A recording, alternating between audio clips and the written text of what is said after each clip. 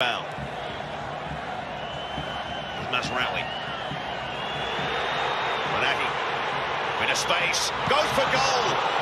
Lloris. What a strike. he just sets it out.